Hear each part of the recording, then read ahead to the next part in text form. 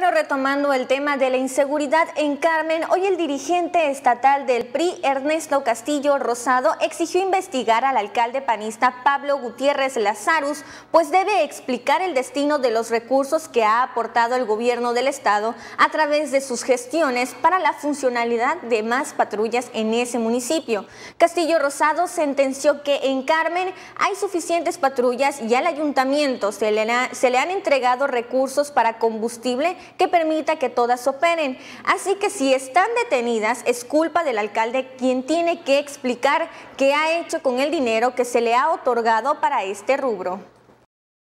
El tema es que se han logrado gestionar a través del gobernador Alejandro Moreno Cárdenas recursos inéditos para combustible vía los donativos de Pemex. Entonces sí valdría la pena que nos aclare el alcalde Pablo Gutiérrez Lazarus qué se ha hecho con esos recursos porque la diputada Yanini Casanova dijo en la anterior sesión ordinaria que las patrullas estaban estacionadas